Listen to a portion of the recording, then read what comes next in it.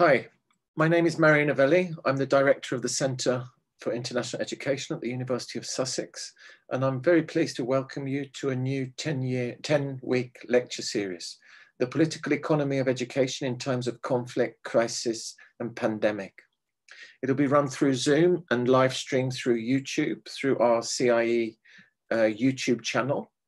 And the lecture series begins on October the 8th, 2020 at 1 p.m. UK time and will run every Thursday up until December the 10th. You're very welcome to attend. Uh, the lecture series is co-sponsored by the PEER Network, a new uh, Global Challenge Research Fund initiative, uh, which brings together the University of Sussex, the University of Ulster, the University of Nazarbayev, and the University of Cape Town. And we're also supported in this lecture series by UKFIET, the UK Forum on International Education and Training. Thank you.